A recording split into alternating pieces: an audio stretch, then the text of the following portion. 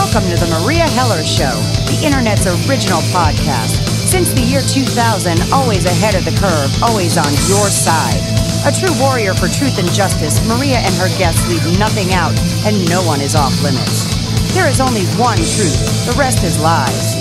Sit back, enjoy the education with a true daughter of Mother Earth. Sharp New York wit, spiritual knowing, and a very dry sense of humor, Meria will dissect the news and lies to make it all palatable. Education is power. Uh, good morning, world. Meria here, alive and kicking. Welcome to News of Planet of the Apes. And believe me, there's plenty of it. Just a few announcements. Tomorrow's Roaring Truth with Jim Fetzer. I'm sure we'll have plenty to talk about, as usual. And tonight at 6 p.m. Pacific time, I will be the uh, guest on Chuck Ochelli's show. So you'll want to tune into that. And Chuck and I usually have plenty to say as well. Anyway, so much stuff going on in the news, I'm just going to get to it. By now, you know about the shooting of the five Dallas police officers that were dead. Uh, but when you have a standing army, and if you've noticed any of the video of these protests throughout the country, it really is frightening. I mean, the cops look like they're in Fallujah, not in the cities of America, trying to get their race war started. And of course, everybody's feeling sorry for the cops. I do too. I mean, this is everybody fighting against each other while the rulers laugh all the way to the bank, so they're getting what they want. Non participation is always key, as I continue to remind people. But don't think that since those cops were shot that they haven't killed more Americans. It wasn't just the two men that were shot the week before. And uh, when you look at not only did they test out uh, transhumanism on us by sending a robot in to blow the man up that supposedly shot the cops. And of course, then they found the manifesto. They found all kinds of weapons in his house. He wrote RB in blood on the walls of where they supposedly blew him up. This is the beginning of Robocop. You know, when you look at movies, remember predictive programming, and so many people thought it was such a great idea to send that robot in and blow him up. But whatever happened to due process in America, or the truth? We'll never know the truth because dead men tell no tales. That plus the fact first there were multiple snipers, and then they reduced it to a lone gunman, as usual. Where do we hear these stories? I mean, he's got every single piece of a false flag staged event around him, and after serving a year in Afghanistan, trained to be a killer, and his mind destroyed, I'm sure, by having to perform inhuman acts on other humans. Who knows what the real deal is, and we'll never know now because they decided to use AI to take him out. And that's just the beginning of what they have in store for all of us. So, God help any of us if we're driving down the street with a traffic violation. So let's get to the news, okay? Because these are stories you're not going to hear anywhere else.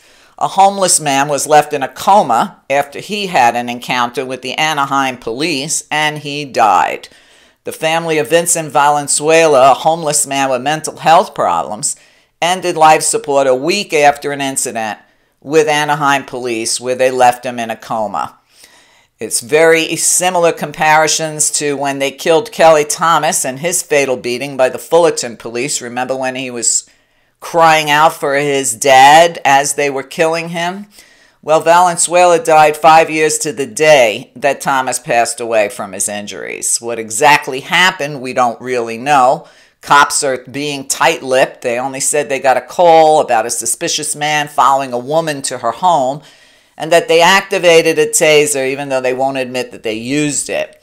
They said he engaged the officers in a physical confrontation, and while they were trying to arrest him, he went into medical distress. Valenzuela was a 32 year old father of two children. He had been able to move his extremities earlier last week, but he got worse and worse. He stopped breathing and he died. Uh, the the uh, family decided to pull the plug because he couldn't breathe without the help of a ventilator. His family's retained legal services of Garo Mardirossian, who's the attorney who handled both the Kelly Thomas murder and civil trial, and no cops went to jail for that. So let's go to another one. Let's go down to Norfolk, in the city of Norfolk, home of beauties and war talk. Video of Norfolk officers shooting and killing a man can remain secret forever, thanks to their state law. As new videos of fatal shootings by cops led to protests and calls for reform across the country, the public's yet to see body camera footage of Norfolk police killing a man more than a month ago. Under city policy and state law, the video may never become public. The new mayor says he wants it released or at least shown to the media, but that won't mean diddly squat.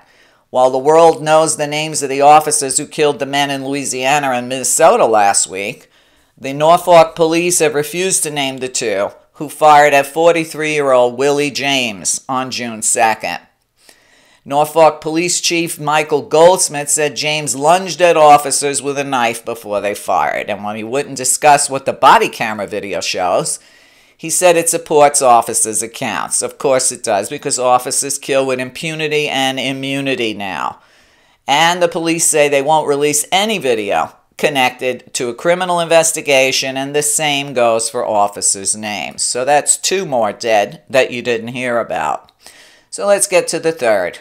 Protesters demand justice after release of Brooklyn road rage shooting video. Hundreds took to the streets of Manhattan last night. It was more like a thousand people demanding an end to nationwide systematic racism and police brutality in the wake of three widely publicized killings of black men by law enforcement officers. The Standing Army, okay? Saturday's protest was led by Zayanella Vines, the nephew of Delrawn Small, who was shot and killed by an off duty cop during a Brooklyn road rage incident last week. Small, 37, was shot by off duty cop Wayne Isaacs in East New York on the 4th of July. The newly released surveillance video shows Small exiting his car and rushing at Isaacs' car. Despite earlier claims that Small had repeatedly punched Isaacs, the footage revealed as he approached the officer's window, he was shot immediately. Isaacs was placed on administrative duty, and oh, an investigation's going on as if that's going to go anywhere. I remember investigation in Orwellian speak means cover up. Anyway, uh, Vine said this of his uncle's killer. He says he needs to be in jail, he needs to be stripped from his titles. And it needs to happen ASAP because my uncle is dead.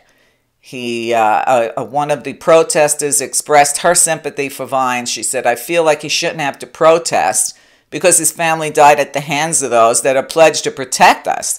Police are supposed to protect our community, but all they're doing is killing our community. She said she once considered being a police officer, but said she couldn't do it now. She says, How could I?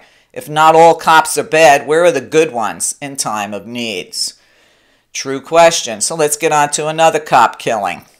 Police said they shot a man because he pointed a gun at him, but the video showed he had his hands up, no gun. Another black man shot and killed by police in Texas Saturday morning. Houston police said Alva Braziel was waving a gun and pointed it at them when they opened fire, but surveillance footage from a nearby gas station suggests otherwise. See, when you live in a surveillance society, surveillance works both ways, and photography is not a crime. The video shows Braziel walked out towards an intersection when the squad car arrived. He put his hands in the air, turns around, stands still for a few seconds before police executed him. Both officers had body cameras on them, but the footage not released yet. And this is going on after the recorded videos showing the cops shooting black men in Minnesota and Louisiana, and Alton Sterling and Philando Castile, who now they're trying to backstory, make them look like criminals, like they deserved it. And in the midst of the outcry over those killings, a dozen officers in Dallas were attacked by a sniper while protecting a protest, five of them killed. It's not clear whether or not Braziel had a gun or if he threatened police. Police protocol encourages officers to use lethal force if they feel someone's threatening them, but there's many other tools and opportunities they have to de escalate a situation. For example, in a majority white neighborhood of Houston this weekend, an armed suspect fired seven rounds at police officers. He didn't have his hands in the air. He fired seven rounds at cops. He was white, by the way. Yet police managed to end the standoff with gas and other non lethal means without killing the man. and now he was transported to a psychiatric center for evaluation and treatment. You know, when I look at the talking heads on TV, they're not talking about the fact that we have no money for the mentally ill who need this kind of help, and no mention is being made of the militarization of the police forces across the country. Uh, to de escalate this kind of violence. When you give them military arms, they act like they're stormtroopers, as you can see very clearly throughout the country.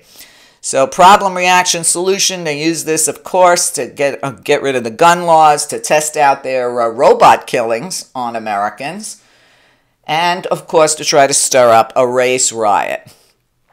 All right, let's get some more stories in. I mean, today's news is unreal. I feel like it's the 60s all over again. Anger and dismay and the nation's attention after a violent I 94 shutdown. A dramatic protest Saturday on Interstate 94 in St. Paul turned violent, with 21 police officers injured, more than 100 people arrested. Under occasional clouds of colored smokes, fireworks, rocks, and tear gas, the confrontations went on till 4:30 in the morning on Sunday, and this was the uh, demonstrations against the killing of Philando Castile. Just a few hours later, St. Paul's mayor and police chief denounced as a disgrace the pelting of officers with rocks, bottles, and other items, just like Obama does, just like Loretta Lynn does. But no attention, of course, being paid to the fact that so far they've killed over 571 Americans this year alone. Uh, anyway, they said 21 officers from all law enforcement agencies were injured in the mayhem. One of them with a broken vertebra, still in the hospital. They say six of the 21 were troopers who were hurt by thrown objects. And it drew national attention. It actually drew international attention. Obama weighed in, saying at a news conference that any violence directed at police officers is a reprehensible crime. Well, when you don't have any justice in the criminal justice system, why isn't he addressing that? Like I've said many times, he's been president for eight years. He's done nothing for the black Americans. Zero. He also said, wherever those of us who are concerned about failures of the criminal justice system attack police, you're doing a disservice to the cause. Well, what service are you doing to the cause?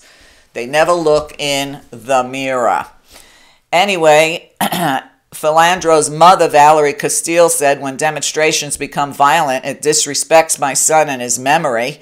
My son was a man of peace and dignity and asked people to stay peaceful. So let's go take a trip to uh, the land of no justice. It's like the Bill of Rights and the Constitution really have been burned. And when people get disgusted, well, when you got nothing left to lose, you fight like you got nothing left to lose. It's like guerrilla warfare on the streets of America. Let's go to uh, South Dakota. South Dakota police officers are strapping people to beds and having catheters forcibly inserted into their urethras in order to extract urine from them, according to attorneys. Attorneys for a man from Pierre charged with felony drug ingestion, who's asking the judge to throw the evidence out from the involuntary urine sample, said that. State prosecutors say the practice is legal, many disagree. Dirk Sparks said his constitutional rights were violated following a report of a domestic disturbance. When they took him into custody, a judge signed off on a search warrant for Pierre police to obtain blood or urine after they said Sparks had become fidgety. Well, if you were arrested, you'd probably become fidgety too. Well, when he refused to comply voluntarily, the cops brought him to a hospital, strapped him to a bed, while a catheter was forced into his penis so a urine sample could be extracted. Think about this. This is like another form of rape in the land of the free where everybody was waving their flags on the 4th of July. Sparks was charged with obstruction, two counts of felony drug ingestion, and possession of marijuana and drug paraphernalia after his urine tested positive for THC and methamphetamine. Well, THC will stay in your system for months, so what does that prove? Anyway, attorneys for Sparks argued that forced catheterization wasn't explicitly authorized by the judge in the warrant for blood or urine, meaning that Fourth Amendment protections against unreasonable search and seizures were violated.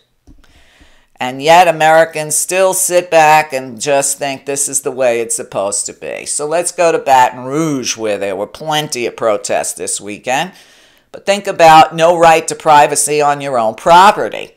When Baton Rouge cops barged into a woman's yard to arrest Black Lives Matter protesters that she invited into her yard, they were in her yard on private property.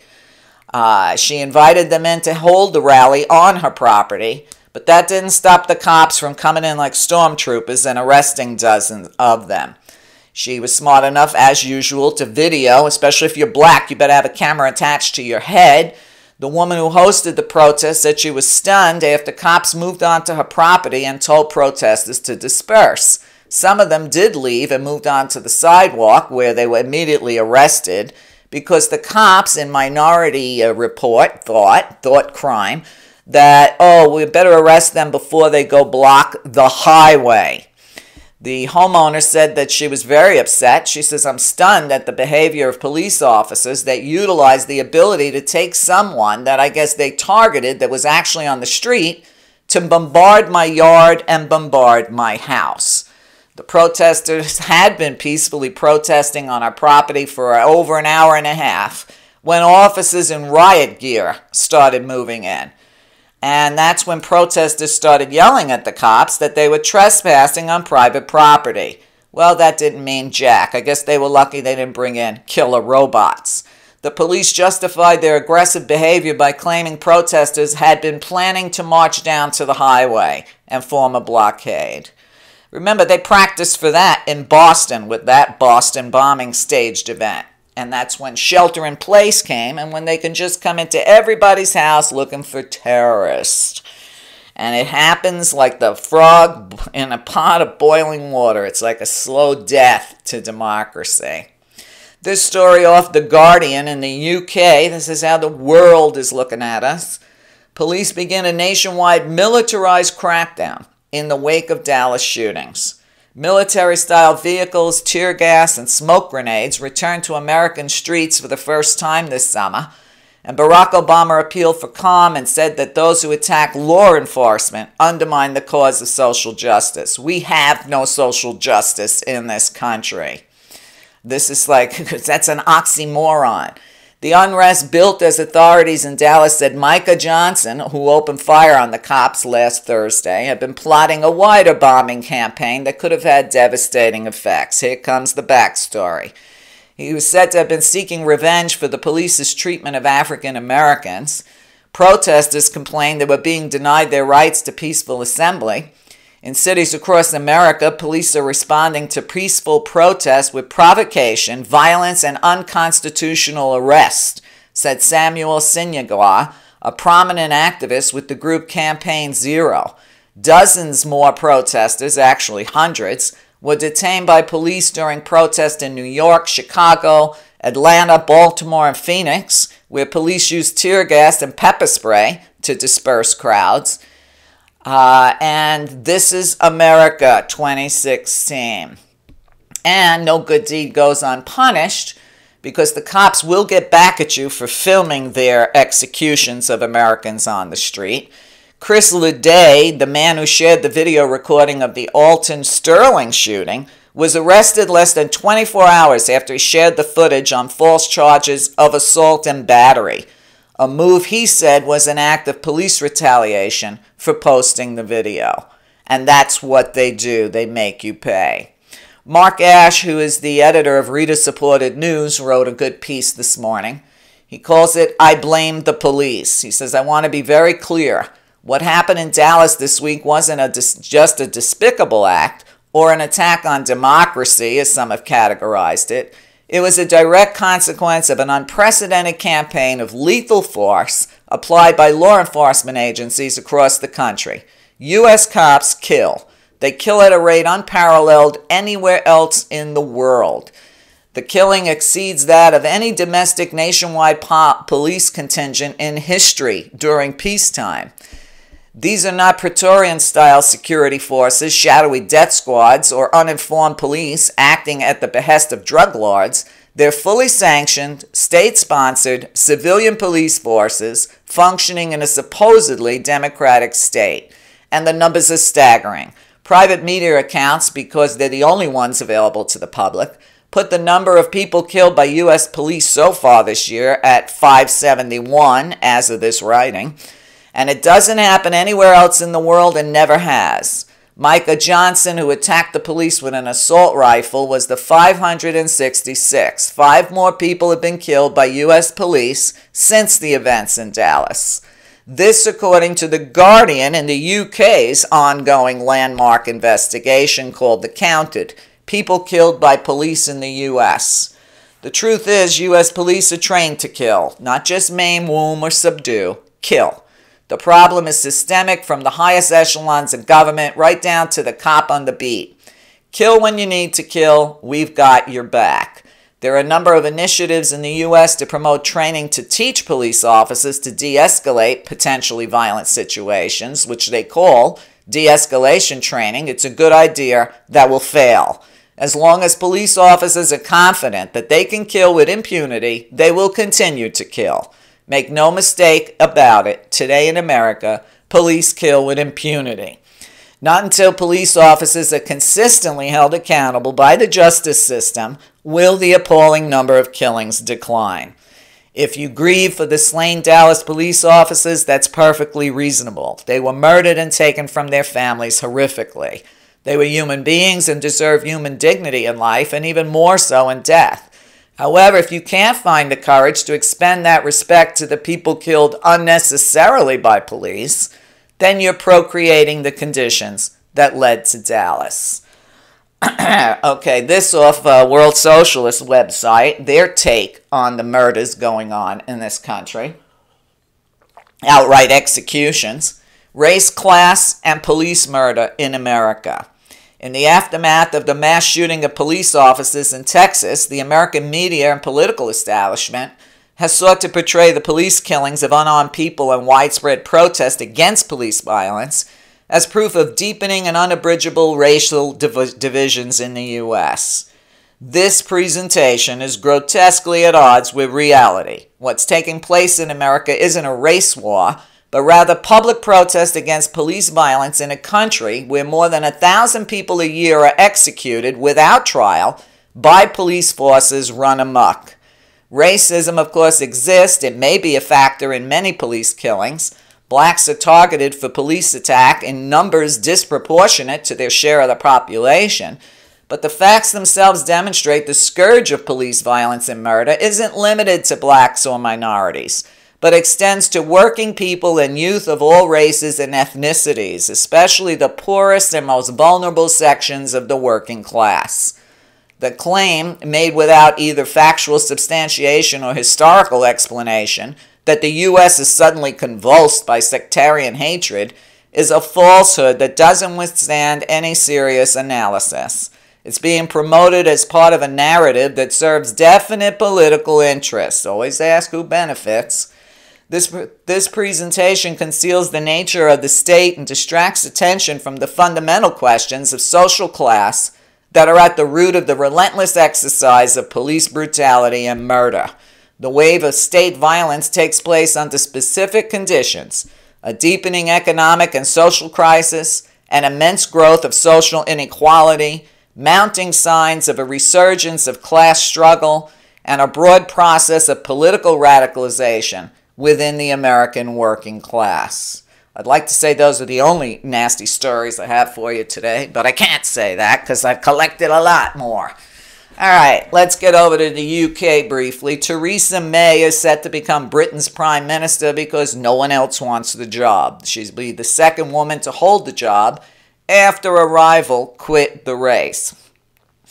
She's a 59 year old Home Secretary. She's likely to be the next Prime Minister of Britain after her only rival for the job, Andrea Leadsom, abruptly pulled out of the race Monday. She was the Energy Minister and under widespread criticism after suggesting in an interview that being a mother made her better qualified to run the country than Miss May.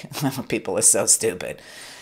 Anyway, we'll see what happens over in the U of K. All right, some earthquakes since Thursday this morning near the coast of Ecuador, 6.4. Yesterday, the Samoa Islands had a 6.0 and Tonga had a 5.5.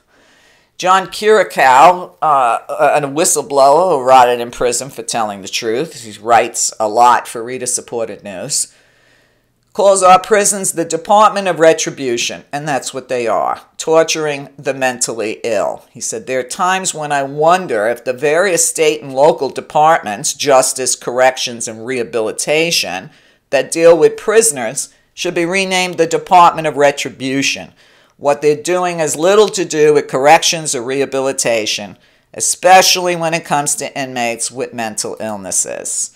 But we have no money to treat our mentally ill, so we just throw them in prison or shoot them dead in the street. That's what the remember that one police chief who defended his murderous cops by saying they did what they're trained to do. Remember that.